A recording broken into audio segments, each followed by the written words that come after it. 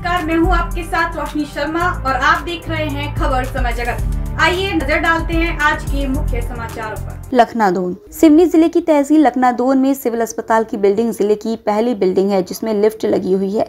करोड़ों की लागत से बना यह सौ बिस्तरीय अस्पताल बाहर से तो चकाचक दिखता है, लेकिन यहाँ की अंदरूनी हालत बहुत ही खस्ता है। यहाँ ना तो पर्याप्त डॉक्टर है और ना ही कर्मचारी, और जो है वह भी कभी समय पर नहीं आते। यहाँ जो भी इलाज कराने आता है, उसकी हमेशा यही शिकायत रहती है कि अस्पताल में सुविधाएँ नहीं हैं। मंगलवार को यहाँ एल टी नसबंदी शिविर लगाया गया था जहाँ महिलाओं को बैठने के लिए दरी तक नहीं दी गई। इतना ही नहीं, सुबह से रजिस्ट्रेशन कराने आई महिलाओं को चाय, बिस्कुट भी नहीं दिया गया। ऐसा आशा कार्यकर्ताओं का कहना है। महिला के परिवार ने बताया कि अस्पताल में साफ़ सफ़ाई नहीं है, लेटरिन बाथरूम भरे पड़े हैं। इन्हीं समस्याओं को लेकर doctor Balram Singh Solanki, block medical officer से जानकारी चाही गई तो उनका कहना है कि मरीजों के साथ अधिक लोग आते हैं जो शौच के बाद पानी नहीं डालते। समय समय पर हम सफ़ाई कराते हैं, जबकि कई बार देखा गया है कि यहाँ साफ़ सफ़ाई नहीं की जाती है। कई बार आकस्मिक घटना घटने पर परिवारजन मरीज़ को खटिया पर डालकर लाते हैं, पर अस्पताल परिसर में उन्हें स्ट्रेचर नहीं मिलता।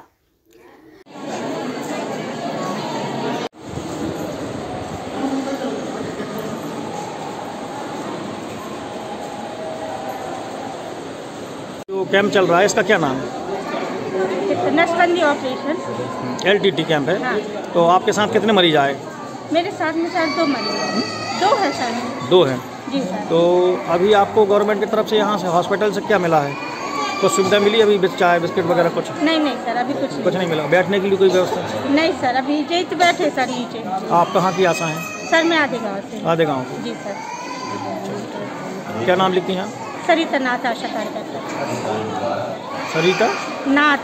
सरिता नाथ? जी। सर बताइए आपके साथ में आपके परिजन आए हैं तो क्या सुविधा यहाँ क्या मिला सुविधा नहीं है कुछ मतलब कि हर चीज़ की परेशानी है। कुछ छोटे छोटे बच्चे लेके महिलाएँ लोग बैठी है। कोई चाय नाश्ता चाय? नाश्ता नहीं कुछ वगैरह कुछ भी नहीं। कुछ व्यवस्था नहीं है। सर कुछ लोगों की शिकायतें ऐसी आ रही हैं कि लेडीज़ डॉक्टर यहाँ समय पर ना आती हैं और समय से पहले चली जाती हैं। क्या कारण है? ये हमारी संस्था में जो है, दो लेडी मेडिकल ऑफिसर हैं और जिनका जो है, महीने में पंद्रह दिन तो महीने के चौबीस घंटे ही एक एक तो जैसे इमरजेंसी ड्यूटी करती है दूसरी ओपीडी संभालती है। तो जो इमरजेंसी ड्यूटी करती है, उसका अगले दिन ऑफ़ रहता है। तो संस्था में सारे टाइम एक medical officer lady medical officer मिलेगी अब। अब उसे हम तीन जगह काम लेते हैं। एक ओ भी देखना रहता है उसको, लेबर रूम भी देखना रहता है और ए एन सी भी देखनी रहती है।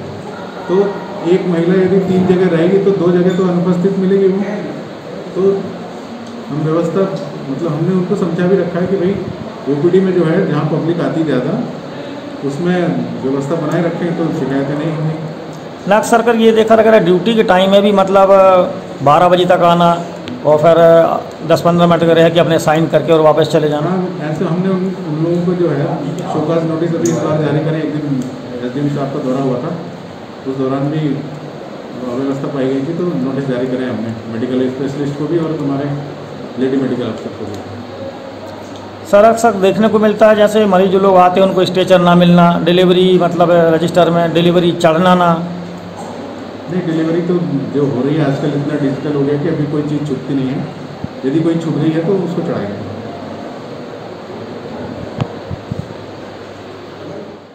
सर कल एलटीटी कैंप था। कुछ लोगों की आशा कार्यकर्ताओं की और कुछ हितग्राहियों की शिकायत थी कि यहाँ पे कुछ सुविधाएँ नहीं हैं पानी की बहुत कमी है और स्वच्छता तो बिल्कुल नहीं है। इस बारे में संबंध में क्या कहना सर? पानी का तो व्यवस्था है वहाँ पे। तीन वाटर कूलर लगे हुए हैं अस्पताल में।